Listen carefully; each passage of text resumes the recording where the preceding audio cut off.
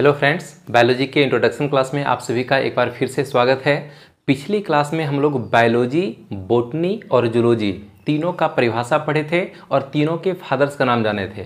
हम लोग जान चुके हैं कि जीवों का अध्ययन करना बायोलॉजी कहलाता है, पेड़ पौधों का अध्ययन करना बोटनी कहलाता है और जंतुओं का अध्ययन करना जूलॉजी कहलाता है। एक क्वेश्चन पूछने वाले हैं, पिछले लेक्चर से संबंधित।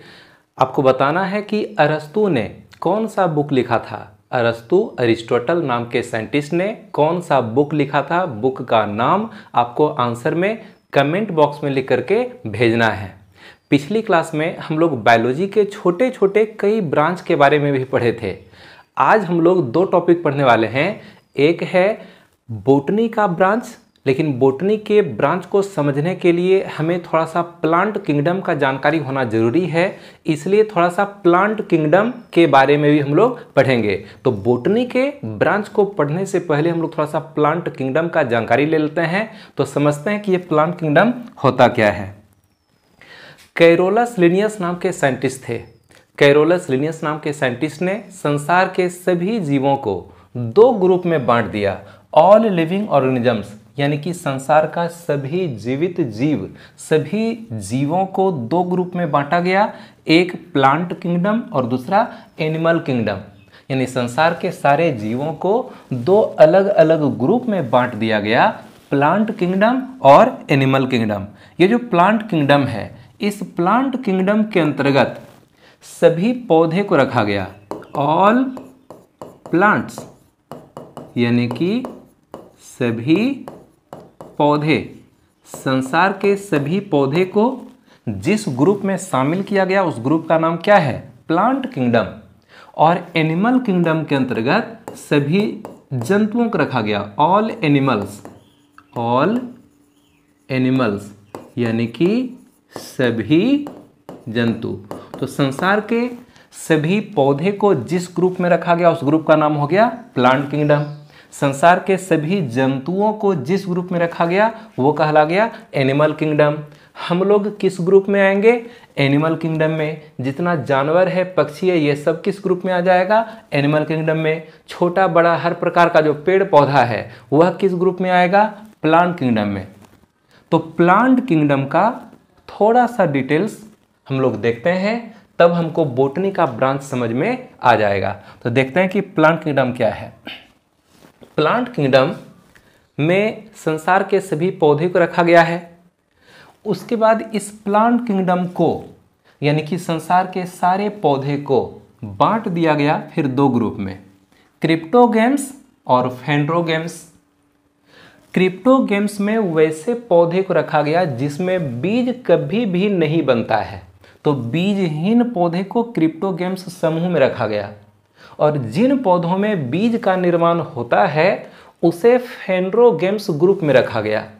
तो संसार के सभी पौधे को दो ग्रुप में बांट दिया क्रिप्टोगेम्स और फेंड्रोगेम्स क्रिप्टोगेम्स में वैसे पौधे को रखा गया जिसमें बीज बनता ही नहीं है, और फेंड्रोगेम्स में वैसे पौधे रखा गया जिसमें कि बीज का निर्माण होता है। बारी बारी से देखते हैं दोनों के बारे में। क्रिप्टोगेम्स यानी कि बीजहीन पौधे को फिर बांट दिया गया तीन भाग में, थैलोफाइटा, ब्रायोफाइटा और टेरिडोफाइटा। हम इधर आ जाते हैं, थैलोफाइटा, ब्रायोफाइटा और टेरिडोफाइटा। यानी कि बिना बीज वाले पौधे को फिर तीन ग्रुप में बांटा गया, थैलोफाइटा, ब्रायोफाइटा और टेरिडोफाइटा। अब थैलोफाइटा में कैसे पौधिक रखा गया? तो थैलोफाइटा में वैसे पौधिक रखा गया है, जिसका प्लांट बॉडी यानी पौधे का शरीर होता है थैलस। थैलस का क्या मतलब है? प्रायः हम लोग जितना भी पौधा देखते हैं, उस पौधे में तीन मुख्य भाग ज़रूर पाया जाता है। जड़, तना और पत्ती। जड़, तना और पत्ती ये तीन भाग पौधा में ज़रूर होता है। लेकिन संसार में कुछ पौधे ऐसे होते हैं कि जिसका शरीर जड़, तना और पत्ती के रूप में बटा हुआ नहीं रहता है। पौधा है, पौधा का शरीर है, लेकिन उसमें कहीं भी जड़, तना और पत्ती नज़र नहीं आएगा। यानी कि पौधा का बस पसरा हुआ या रेसा टाइप का शरीर है, लेकिन उसके शरीर में जड़, तना और पत्ती रहता नहीं है। पौधा का यही शरीर कहलाता है थैलस। यानी कि थैलोफाइटा समूह में सभी थैलस वाले पौधे को रखा गया। यानी सभी वैसा पौधा जिसमें जड़, तना, पत्ती नहीं होता है, वैसे सारे पौधे को थैलोफाइटा समूह में रख दिया गया है। अब कौन सा पौधा है बताते हैं। थैलोफाइटा समूह के पौधे से थोड़ा सा विकसित पौधा को रखा गया है ब्रायोफाइटा समूह में। ब्रायोफाइटा समूह में वैसे पौधे को रखा गया है जिसमें सच्चा जड़ तना पत्ती तो नहीं होता है। लेकिन पौधा को ध्यान से देखने पर ऐसा लगता है कि हाँ इसमें जड़ है, तना है और पत्ती है। यानी कि वैसा पौधा जिसमें सच्चा जड़ तना पत्ती नहीं होता है, लेकिन उसके समान कुछ संरचना पाया जाता है, ऐसे पौधे को ब्रायोफाइटा समूह में रखा गया है। इसका एग्ज़ाम्पल है रिक्सिया। ये रिक्सिया के पौधे का इमेज है। इसमें अगर ध्यान से देखें, पौधे को ज़मीन से उखाड़ करके तो लगेगा कि जड़ है, पत्ती है। तो जड़ तना पत्ती जैसा रचना होगा, लेकिन वह वास्तविक जड़ तना पत्ती होता नहीं है। अब इससे भी विकसित पौधा को रखा गया है टेरिडोफाइटा समूह में। टेरिडोफाइटा समूह में वैसे पौधे को शामिल किया गया है जिसमें सच्चा जड़ तना पत्ती होता है, लेकिन उसमें फूल, फल और बीज का निर्माण नहीं होगा। वैसा पौधा जिसमें कि वास्तविक जड़, तना और पत्ती पाया जाता है, लेकिन पौधे में फूल, फल और बीज का निर्माण नहीं होता है, उसको शामिल किया गया है टेरिडोफाइटासम में। इसका एग्ज़ाम्पल है फर्न। ये फर्न का इमेज है और ये जो है इसमें जड़तनापत्ति होगा, लेकिन कि पौधा में फूल, फल, बीज का निर्माण नहीं होगा। तो ब्रायोफाइटा का एग्ज़ाम्पल देख लिए टेड्रोफाइटा का एग्ज़ाम्पल देख लिए। ये जो थैलोफाइटा है, जिसमें कि थैलस वाले पौधे रखा गया है, इस थैलोफाइटा समूह के पौधे को फिर बांट दिया गया है तीन भाग में। कौन कौन एलगी यानी सहवाल फंजाई, कवक और लाइकेन। तो एलगी, फंजाई और लाइकेन ये तीनों थैलोफाइटा समूह का पौधा है। यानी तीनों समूह के पौधे में जड़ वनापत्ति नहीं होगा, सबका शरीर थैलस ही होगा। एलगी में एलगी समूह के पौधे में क्लोरोफिल पाया जाता है। एलगी समूह के पौधे में क्लोरोफिल पाया जाता है, जिसके कारण यह एलगी प्रायः हरा रंग का होगा और ये प्रकाश संश्लेषण प्रक्रिया द्वारा, यानी फोटोसिंथेसिस प्रोसेस के द्वारा अपने भोजन का निर्माण खुद से कर लेता है। ये अपने भोजन का निर्माण खुद से कर लेता है, फोटोसिंथेसिस प्रोसेस के द्वारा। और इस एलगी समूह के पौधे का एक एग्ज़ाम्पल है स्पायरोगायरा, और ये स्पायरोगायरा का इमेज है। हमारे घरों में जो नल है, नल के पास जहाँ से पानी बराबर निकलते रहता है तो वहाँ पर कुछ ग्रीन ग्रीन टाइप का कजली का पौधा उत्पन्न हो जाता है। तो वही कजली का पौधा जो है, इसका वास्तविक नाम क्या है? स्पायरोगायरा। या फिर अगर मिट्टी का आँगन हो और बरसात का मौसम हो, ज़्यादा समय तक पानी पड़ते रह जाए तो मिट्टी के आँगन में भी हरा हरा टाइप का पौधा उत्पन्न हो जाता है। वही एक कजली का पौधा और उसी का रियल नाम होता है स्पायरोगायरा। इसके बाद है फंजाई। फंजाई को हिंदी में कहते हैं कवक और फंजाई जो है फंजाई को हम अपने घरों में देखते हैं कि जब कोई फल फल, सब्ज़ी सड़ता गलता है तो उसके ऊपर रुई जैसा फफूंदी लग जाता है। जैसे यहाँ पर ये एक नारंगी का फिगर है, और कई दिनों तक पड़ा रह गया तो ये सड़ गया। तो सड़ गया तो इसके ऊपर ये रुई जैसा रचना दिखाई पड़ रहा है, यही रुई जैसा रचना कहलाता है फंजाई। तो ये फंजाई भी पौधा है, लेकिन इसमें क्लोरोफिल नहीं होता है, जड़ तना पत्ती नहीं होता है। पौधा है, क्लोरोफिल नहीं है, इसलिए यह व्हाइट कलर का है, कलरलेस है, और ये प्रकाश संश्लेषण खुद से कर नहीं सकता है। तो ये फंजाई उसी जगह में उत्पन्न होगा जहाँ पर कि कुछ नमी हो, कुछ सरता गलता पदार्थ हो और फंजाई उसी सड़े गले पदार्थों से ही भोजन को प्राप्त कर लेता है। तो ये हो गया फंजाई, एक एग्ज़ाम्पल है म्यूकर। ये जो फफूंदी, रुई जैसा रचना दिखाई पड़ रहा है, यही हो गया म्यूकर। इसके बाद है लाइकेन। तो हम कभी कभी देखते हैं कि जब बगीचा घूमते हैं तो आम के तना के ऊपर कुछ चपटा चपटा टाइप का स्ट्रक्चर चिपका हुआ रहता है। कुछ चपटा स्ट्रक्चर आम के तना के ऊपर इस तरह से चिपका हुआ हम देखते हैं। ये क्या है? यह है लाइकेन समूह का पौधा। लाइकेन समूह का जो पौधा होता है, यह वास्तव में एलगी और फंजाई दोनों समूह के पौधे का मिश्रण होता है। लाइकेन समूह का जो पौधा होगा, इस पौधा में दो चीज़ शामिल है।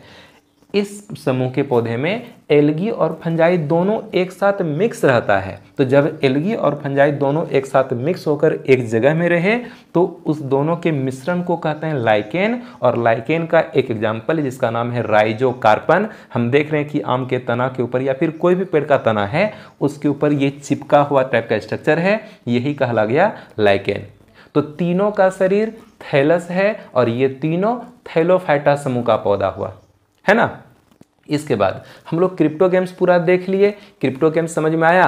क्रिप्टो गेम्स में वैसे पौधे रखा गया जिसमें बीज कभी भी बनता नहीं है। फिर क्रिप्टो गेम्स को तीन भाग में थेलोफाइटा ब्रायोफाइटा और टेरिडोफाइटा में बांटा गया। थेलोफाइटा में थैलस वाले पौधे रखा गया, यानी कि जिसमें जड़तना पत्ती होता नहीं है। ब्रायोफाइटा में वैसे पौधे रखा गया जिसमें वास्तविक जड़तना पत्ती तो नहीं है, लेकिन उसके जैसा स्ट्रक्चर प्रेजेंट हो सकता है। और फिर टेरिडोफाइटा में वैसे पौधे रखा गया जिसमें सच्चा जड़तना पत्ती होता है, लेकिन लेकिन पौधा में फूल, फल, बीज का निर्माण नहीं होता है। फिर थेलोफाइटो को तीन भाग में एलगी फंजाई और लाइकेन सबका फिगर देख रहे हैं। आते हैं अब फेंड्रोगेम्स पर। तो फेंड्रोगेम्स में वैसे पौधे रखा गया है, जिसमें कि बीज उत्पन्न होता है और इस बीज उत्पन्न करने वाले पौधे को, यानी कि फेंड्रोगेम्स को, फिर आगे बांट दिया गया दो ग्रुप में जिम्नोस्पर्म और एंजियोस्पर्म जिम्नोस्पर्म और एंजियोस्पर्म हम लोग प्रायः देखते हैं। कि जो भी पौधा में बीज उत्पन्न होता है, बीज हमेशा फल के आवरण के अंदर रहता है। बीज के बाहर फल का एक कवर पाया जाता है, जैसे कि आम। आम का जो गुठली है, वो हो गया बीज।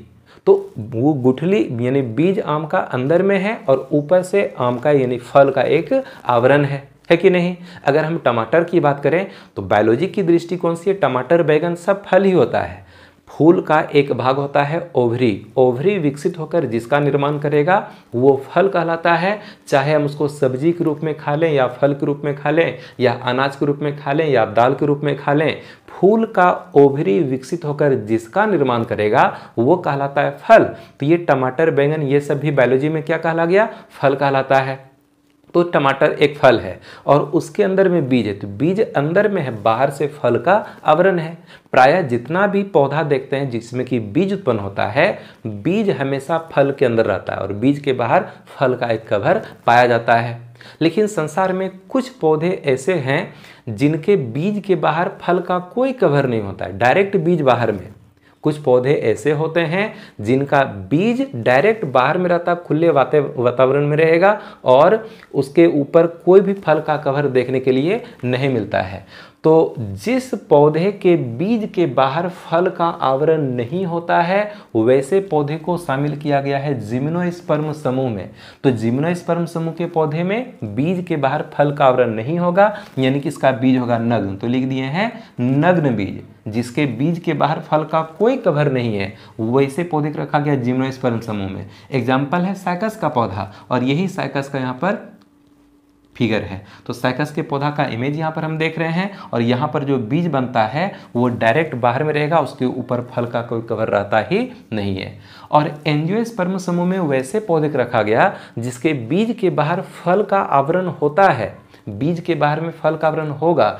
अब एंजियोस्पर्म समूह के पौधे को, यानी कि आवृत बीज वाले पौधे को फिर बांट दिया गया दो भाग में मोनोकॉट प्लांट और डाइकॉट प्लांट अब ये मोनोकॉट प्लांट और डाइकॉट प्लांट क्या होता है?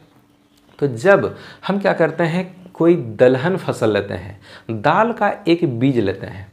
और दाल के बीज के ऊपर का छिलका हटा देंगे और थोड़ा सा ठोकर मारेंगे। जैसे ठोकर मारते हैं तो दाल का एक जो गोल वाला जो बीज रहता है, वह दो, वह बीज से टूट पड़ता है और दो आधा आधा पार्ट में बढ़ जाता है। उसके प्रत्येक पार्ट को हम कहते हैं कॉटिलिडन। तो दाल के बीज को ठोकर मारे और वो दो पार्ट में टूट गया। दोनों पार्ट कहलाएगा कॉटिलिडन। तो दाल के एक बीज में कितना कॉटिलिडन? दो कॉटिलिडन। दाल के एक बीज में कितना कॉटिलिडन? दो कॉटिलिडन। लेकिन अगर हम एक धान लेते हैं, धान के छिलका को हटाए, अंदर से चावल निकला, चावल को हल्का सा ठोकर मारेंगे तो क्या चावल दाल के समान बीचों बीच दो हाफ़ हाफ़ पार्ट में बटता है? नहीं बढ़ता है। ठोकर मारेंगे, ज़ोर से ठोकर मारेंगे तो जहाँ तहां से टूट जाएगा, लेकिन पहले से ऐसा कोई दो पार्ट उसमें बना हुआ रहता नहीं है। यानी कि चावल में सिंगल पीस है, चावल में एक ही कॉटिलिडन है, लेकिन दाल के एक बीज में कितना कॉटिलिडन होता है? दो कॉटिलिडन होता है। तो जितना दलहन फ़सल है, उसके एक बीज में दो कॉटिलिडन होता है, जितना अनाज वाला फ़सल है, उसके एक बीज में केवल एक ही कॉटिलिडन होता है। तो वह सभी पौधा जिसके एक बीज में केवल एक कॉटिलिडन हो। Single cotyledon in a seed यानी एक बीज में केवल एक कॉटिलिडन हो। ऐसे पौधे को मोनोकोट प्लांट के अंतर्गत रखा गया है। और वह सभी पौधा जिसके एक बीज में, जिसके एक बीज में दो कॉटिलिडन होता है। जिसके एक बीज में दो कॉटिलिडन होता है। ठीक है? जिसके एक बीज में दो कॉटिलिडन होता है। उसको उसको डाइकॉट प्लांट के अंतर्गत रखा गया है। थोड़ा सा एडजस्ट कर देते हैं। तो क्या ये बात समझ में आया? वह सभी पौधा जिसके एक बीज में दो कॉटिलीडन होता है, उसको डायकॉट प्लांट के अंतर्गत रखा गया है। तो डायकॉट प्लांट का एग्ज़ाम्पल हो गया पल्सेस, यानी कि दाल, और मोनोकॉट प्लांट का एग्ज़ाम्पल हो गया सीरियल्स, यानी कि अनाज। अब यहाँ पर फिगर में हम देख रहे हैं कि ये डायकॉट प्लांट का एक सीड है। यहाँ पर दो कोटिडिन हमको दिखने के लिए मिल रहा है। तो डायकॉट प्लांट का इमेज यहाँ हो गया और मोनोकॉट प्लांट का इमेज यहाँ हो गया। ये एक मकई के पौधे का एक सीड है, एक बीज है और उसमें केवल सिंगल कॉटिलिडन, एक कॉटिलिडन, यहाँ पर दो कॉटिलिडन। दो कॉटिलिडन है तो डायकॉट प्लांट बोलेंगे, एक कॉटिलिडन है, मोनोकॉट प्लांट बोलेंगे। तो क्या इतना समझ में आया? ये जो नाम बोलते हैं, thallophyta, bryophyta, pteridophyta, gymnosperm, angiosperm, algae, fungi, lichen, ये सब क्या है? तो ये सब जो नाम हम बोलते हैं, ये पौधे के समूह का नाम है। हर समूह में कई प्रकार का पौधा मौजूद है। ढेर सारा पौधा यहाँ पर मौजूद है। तो thallophyta, bryophyta, pteridophyta, algae, fungi, lichen, ये सभी पौधे के समूह का नाम है। हर समूह में कुछ ना कुछ पौधा शामिल है। अगर ये बात समझ में आ गया तो अब हमको बोटनी का ब्रांच समझ में आ जाएगा। तो स्टार्ट करते हैं बोटनी का ब्रांच। तो हम लोग पढ़ते हैं, बोटनी का कौन कौन सा मेन मेन ब्रांच है और हम लोग बहुत सारे बोटनी के ब्रांच के बारे में समझेंगे। तो स्टार्ट करते हैं। फ़र्स्ट ब्रांच है एंथोलॉजी, स्टडी ऑफ़ फ्लावर्स, फूलों का अध्ययन। फूलों का अध्ययन बोटनी के जिस ब्रांच में किया जाता है, हम उसको कहते हैं एंथोलॉजी। फूलों का अध्ययन बोटनी के जिस भी ब्रांच में करते हैं, हम उस ब्रांच को कहते हैं क्या? एंथोलॉजी। फिर है पोमोलॉजी, स्टडी ऑफ़ फ्रूट्स। फलों का अध्ययन। फल का अध्ययन करना कहलाता है पोमोलॉजी। एग्ज़ाम में इस तरह का क्वेश्चन आएगा कि फूलों के अध्ययन को क्या कहते हैं? बोलेंगे एंथोलॉजी कहते हैं। फलों के अध्ययन को क्या कहते हैं? पोमोलॉजी कहते हैं। पोमोलॉजी में किसका अध्ययन किया जाता है? बोलेंगे, फल का अध्ययन किया जाता है। इस तरह से एग्ज़ाम में क्वेश्चन आता है। फिर है एग्रोस्टोलॉजी स्टडी ऑफ़ ग्रास घास का अध्ययन।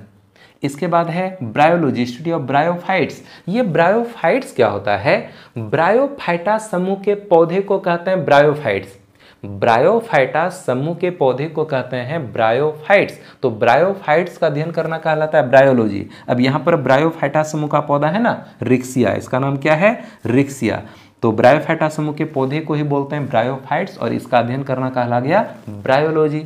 फिर है mycology. Study of fungi. Fungi या कवक का अध्ययन करना कहलाता है माइकोलॉजी अभी हम लोग पढ़े थे ना कि फंजाई क्या होता है। जैसे कि ये जो खराब हो रहा है ऑरेंज है, और इसके ऊपर रुई जैसा फफूंदी लग गया, यानी फंजाई लग गया। इस फंजाई का अध्ययन करेंगे, ये कहला गया माइकोलॉजी फिर है फाइकोलॉजी। स्टडी ऑफ़ एलगी सहवाल का अध्ययन करना। यही है एलगी स्पैरोगायरा कजली का पौधा स्पैरोगायरा तो एलगी का अध्ययन करना कहलाता है फाइकोलॉजी यानी कि एंथोलॉजी में किसका अध्ययन फूल का अध्ययन पोमोलॉजी में फल का अध्ययन एग्रोस्टोलॉजी में घास का अध्ययन ब्रायोलॉजी में ब्रायोफाइट्स का अध्ययन माइकोलॉजी में फंजाई का अध्ययन फाइकोलॉजी में एलगी का अध्ययन इतना समझ में आया? आगे बढ़ते हैं।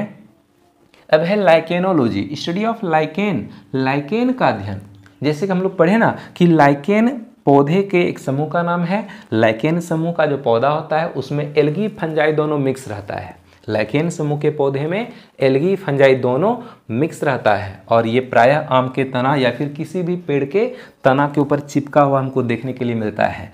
तो लाइकेन का अध्ययन करना कहला गया? लाइकेनोलॉजी फिर है pteridology. Study of pteridophytes. Pteridophytes का अध्ययन। टेरिडोफाइटा समूह के पौधे को कहते हैं टेरिडोफाइट्स। टेरिडोफाइटा समूह के पौधे को हम कहते हैं टेरिडोफाइट्स। ये है टेरिडोफाइटा समूह का पौधा, यानी कि फर्न का पौधा। तो इस तरह के पौधे का अध्ययन करना कहला गया टेरिडोलॉजी। फिर है फॉरेस्ट्री। स्टडी ऑफ़ फॉरेस्ट, जंगल का अध्ययन करना। फिर हो गया floriculture. Study of cultivation of flower yielding plants. Pushpi पौधों की कृषि का अध्ययन करना कहलाता है फ्लोरिकल्चर। फूल वाला जो पौधा होता है ना, जहाँ की बड़े पैमाने पर फूलों का व्यापार किया जाता है, फूलों को बड़े पैमाने पर बेचा जाता है तो फूलों का खेती किया जाता है। बड़े बड़े खेत में सिर्फ़ फूल ही लगाया जाता है। तो फूल वाले पौधे का कृषि कैसे किया जाता है उसका खेती बाड़ी कैसे किया जाता है, इसका अध्ययन करना कहलाता है फ्लोरिकल्चर। फिर है palynology study of pollen grains पराग कणों का अध्ययन।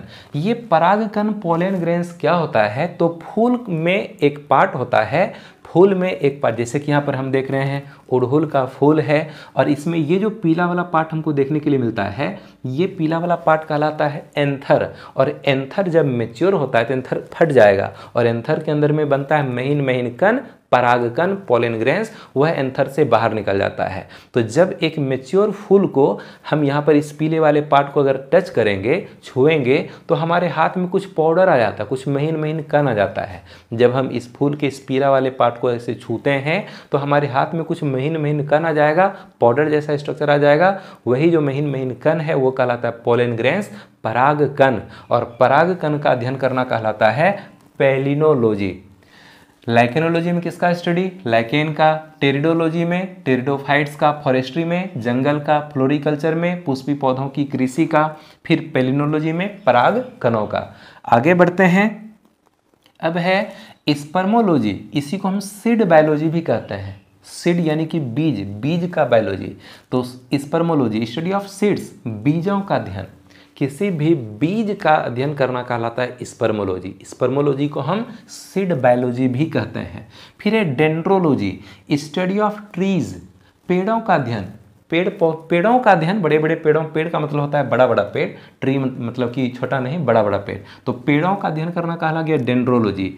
Economic botany, study of commercially useful plants, व्यावसायिक उपयोगी पौधे का अध्ययन व्यापार या व्यवसाय के दृष्टिकोण से जिस पौधे का उपयोग किया जाता है, उसका अध्ययन करना कहलाता है इकोनॉमिक बोटनी जैसे फर्नीचर का काम करने के लिए टेबल टेबल कुर्सी वगैरह सब बनाना है, उसके लिए जिस पौधे का यूज़ किया जाता है, उस पौधे का जो खरीद बिक्री किया जाता है तो ऐसे पौधे यानी कि व्यावसायिक उपयोगी पौधे का अध्ययन करना कहलाता है इकोनॉमिक बोटनी और इसके बाद है एडेफोलॉजी इसी को पीडोलॉजी भी कहते हैं. स्टडी ऑफ़ सॉइल मिट्टी का अध्ययन. मिट्टी का अध्ययन करना कहलाता है एडेफोलॉजी या इसी को कहते हैं पीडोलॉजी। क्या इतना समझ में आया? स्पर्मोलॉजी में किसका अध्ययन? सीड यानी बीज का।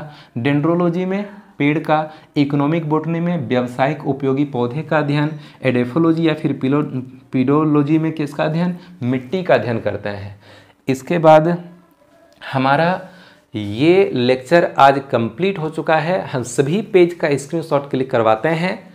आप सभी पेज का स्क्रीनशॉट क्लिक कर लीजिएगा। इसका भी कर सकते हैं। इसका भी क्लिक करना है। इसका भी क्लिक करना है। इसका भी क्लिक करना है। इसका भी क्लिक करना है। इसका भी क्लिक करना है। तो आज का लेक्चर कंप्लीट हो गया। अभी बायोलॉजी का इंट्रोडक्शन क्लास कंप्लीट हुआ नहीं है। एक लेक्चर इंट्रोडक्शन क्लास के लिए एक लेक्चर और बनेगा, जिसमें हम लोग जुलोजी के ढेर सारे ब्रांच को पढ़ेंगे। जुलोजी में बहुत सारा ब्रांच है। तो जुलोजी के ब्रांच को हम लोग कल पढ़ने वाले हैं। तो तब तक मन लगा पढ़ते रहिए। हम लोग मिलते हैं अगले क्लास में। All the best